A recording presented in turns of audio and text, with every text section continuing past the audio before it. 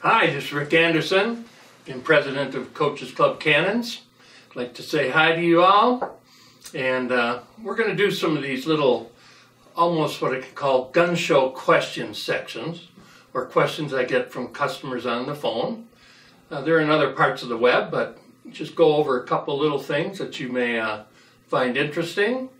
And uh, I did want to say also, I want some of you uh, younger guys to start getting into this a little bit. Uh, you know, uh, us older fogies love these things, but you 30 and 40 year olds, we're getting more and more of you to get the experience the fun of having black powder cannons. So I did want to say that.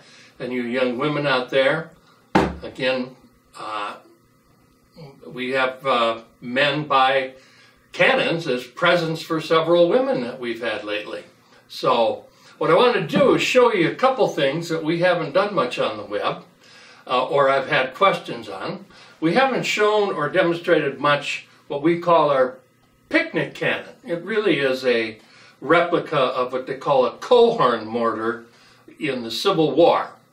And this is, uh, uh, I call it the picnic cannon because it's so easy to carry and uh, it's not quite as, uh, although it's a, a powerful. It's not quite like the 18 inch and the other, but it does shoot the golf ball. Oop, it shoots the golf ball. Uh, I've actually got an example of one of these plastic practice balls. They fit pretty good too. But anyway, the picnic cannon, what we call, is very, very heavy. It's still made out of the three and a half inch material that we make with all our other cannons. So again, you can be absolutely confident that there's nothing you can do that can possibly uh, do anything to damage this or yourself. This, in fact, is very, very heavy, and we're showing it this way because you can use this very much like uh, just a signal cannon. And it has a what we call a powder chamber. I don't know if you can see that down in there. That's where the powder falls when I load it.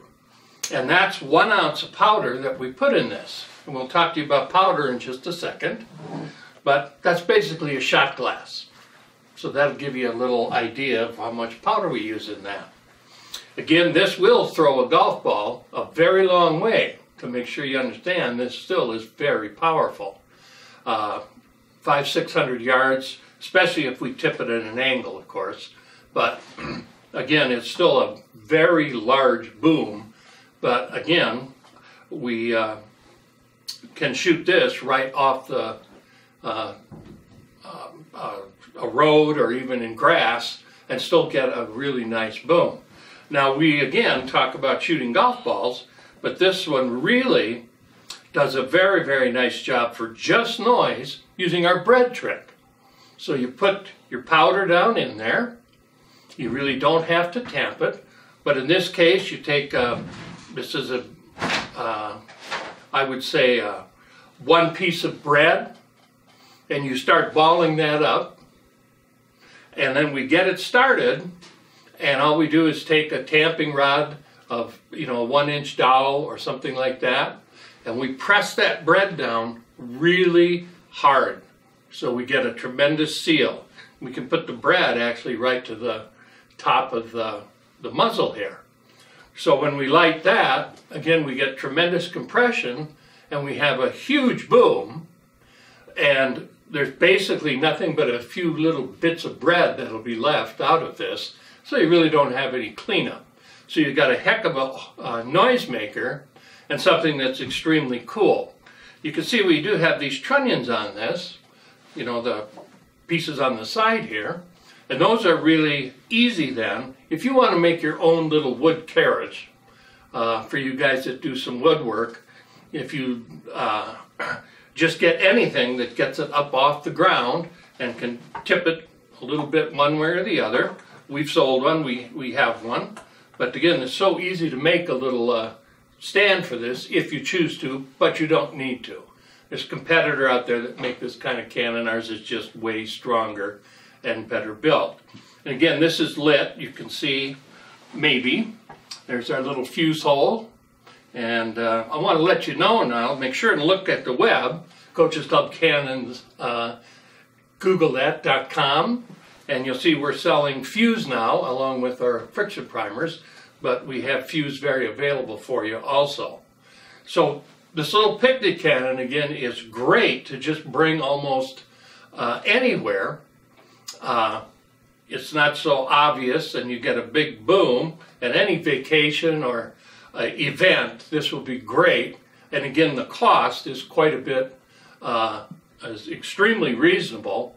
And we can ship that to you usually within a day or, or two days. So the picnic cannon, also known as a Coehorn, uh, is one of the products we really haven't showed you much. We sell a bunch of those and they're a great deal of fun. Now I did want to add a little bit in this little segment, uh, and we get questions about this, but always getting questions about powder. And there's two kinds that we haven't talked a whole lot about. This is real black powder. That's real black powder. I use a brand called Goex.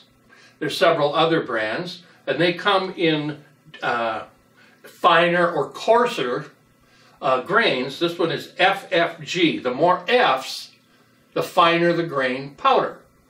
Now, I like, uh, you can use any of it, even the really fine stuff that gives you a really big boom. Our cannons easily handle that.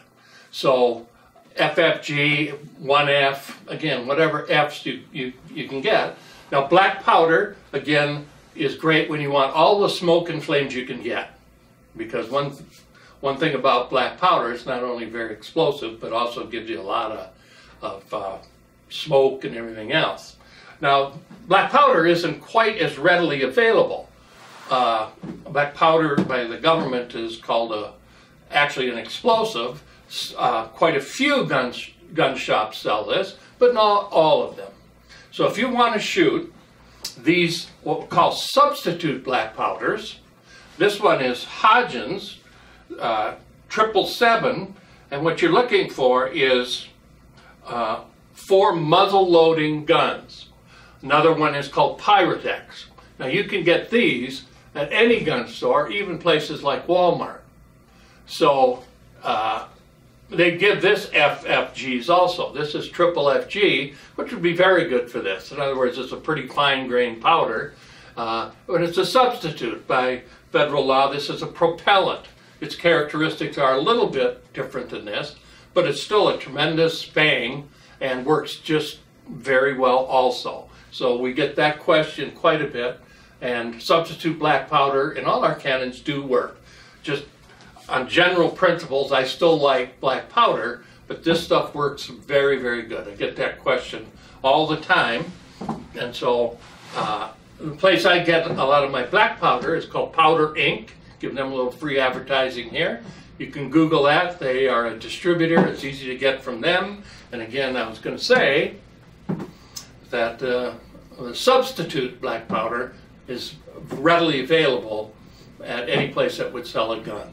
So in this segment, again, this is just a little blurb of information. We'd like to have uh, these here periodically on the web. Remember the web, coachesclubcannons.com. I want you to go in there, go through the web. You'll see uh, all of our other products. You'll see a lot of things being shot. Hopefully you have a lot of fun. And that's what we're about. We're about fun with safety. so I, did want to mention real quick, make sure uh, that you always, especially when you buy the Cannon, we do have all safety and protocol. is on the web that you can read before you do it, uh, before you get that. And of course, we can answer any question you want. So, you know, always be safe. Remember using black powder as a substitute. God, get some fun. Get yourself a picnic can, and I think you're going to like it. And uh, give us a call. We're one of the few companies I like talking to you. We enjoy talking to customers. You're not going to talk to a computer. So give us a call. That again is on the web. And uh, I hope to hear from you soon. Thank you so much.